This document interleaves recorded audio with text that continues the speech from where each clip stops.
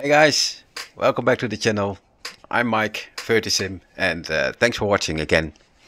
So in this video I will discuss or show a modification to the OpenXR toolkit which is huge. Okay guys, before we continue, here's a little uh, important in-flight message for you. Don't forget to stretch your legs, bend your knees, keep that blood uh, running uh, through your veins and don't forget to like and subscribe to the channel as we're cruising along this video on a uh, flight level uh, I don't know but uh, hey let's enjoy this virtual world and enjoy the rest of the video. Don't forget like and subscribe to the channel. It will help me out a lot guys. Thanks for your support. Because this one will give you a huge FPS boost and performance boost. So what this modification does if you have the headset it will you can narrow your view, your field of view, and basically create a kind of a letterbox. And everything outside that letterbox will not be rendered. And that will give you a lot of um, FPS back and also a little bit of performance, of course.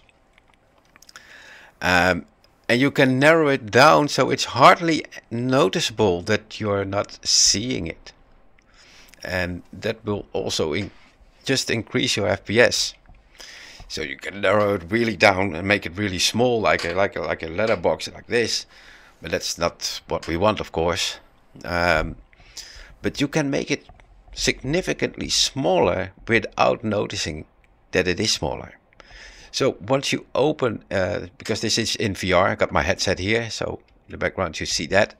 So in VR, when you open the uh, OpenXR toolkit, and you see I already did the mod, and it will say OpenXR toolkit only speed mod version 135.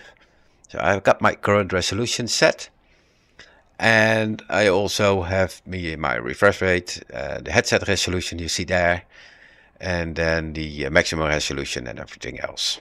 All right, so how do we get this mod? Well, first I'm gonna exit the menu here. Oh, in here, all right.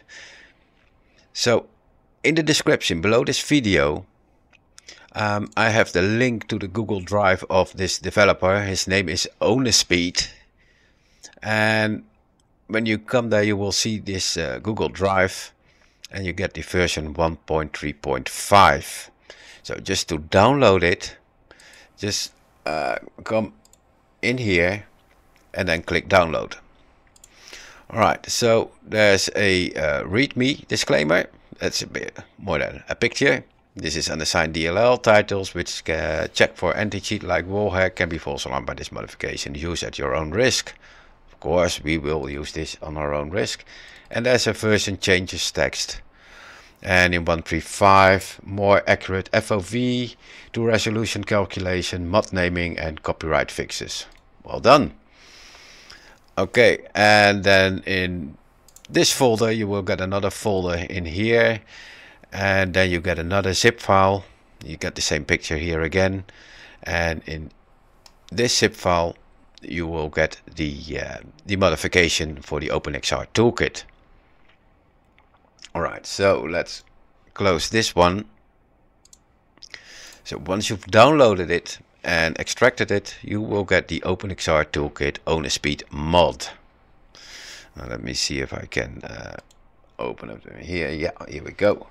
So once in here, you will see the uh, the same things as you did on the Google Drive version 135. Then you get this zip file right here you got the disclaimer again and then you unzip this file and then you go to the OpenXR toolkit mod. There's a uh, Windows batch file which didn't work for me so I copied this file into the OpenXR toolkit folder the original OpenXR toolkit folder which you can find right here on your program files OpenXR toolkit and once you scroll down you will see here the xr API layer mbucchia underscore toolkit.dll make a backup of this file. Save it somewhere safe or keep it in this uh, in this directory under a um, backup name.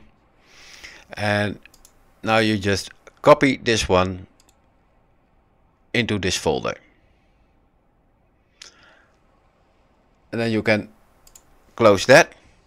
You go out of this of course you go out of the sim. Then open your OpenXR toolkit. Alright so this is the companion app. So once you start the sim make sure you go into safe mode. And then reset all the settings uh, this so like uh, control F1 F2 and F3 to delete all settings. Go out of VR disable the uh, the safe mode. And come back in VR and then you can start from scratch with the um, with the OpenXR toolkit in VR so then back into VR what we're gonna do is in here and we go to performance. And I have to go a little bit to the side here. So you see here in performance uh, that you can you can set all these other things of course. You got your overlay for your FPS your upscaling and um, I got foveated rendering on so got the preset quality and then wide. Turbo mode on that's that one so for appearance I got my post-processing on. Uh, inputs so the over prediction uh, reduction that's for the shakiness of the headset. But here in system this is where you get the, the magic. First of all if you go to menu and then the show expert settings if you do that uh, you will see much more.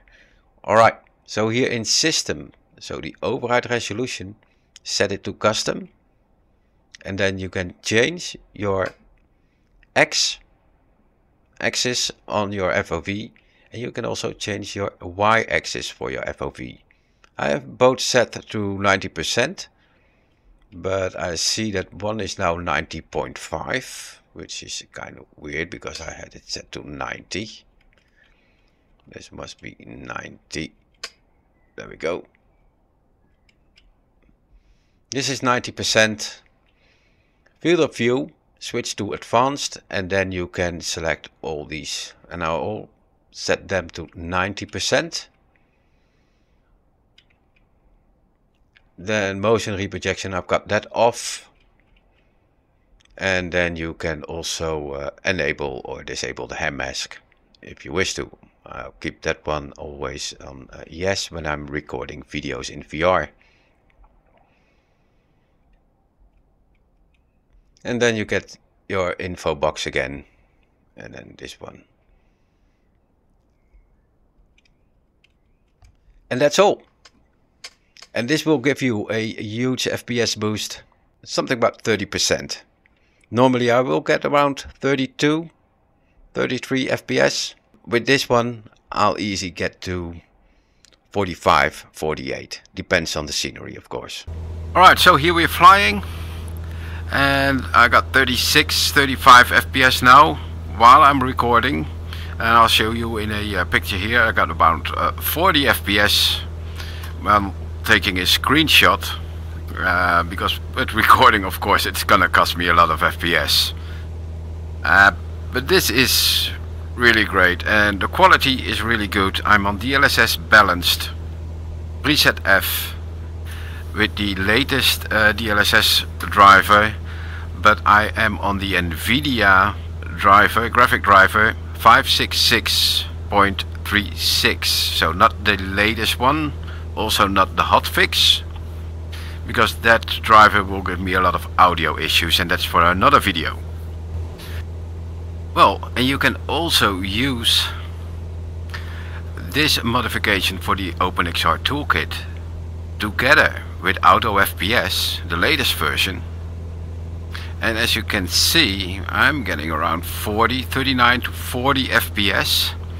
And when I'm gonna look here in the back, I'm getting 46. There's always more when you look backwards. Um, this sideways around 40 and then slowly going back here. So it's around 35 and then it will slowly increase with auto FPS to around 38 39 which is pretty significant knowing that I'm recording right now and I'm getting around 38 to 40 FPS pretty happy with uh, with this uh, OpenXR toolkit mod. I'm glad there was a uh, developer uh, making it a little bit better. And hopefully there will be more changes in the future. But for now this is uh, pretty huge. Alright guys, what do you think of it? Let me know in a comment below the video.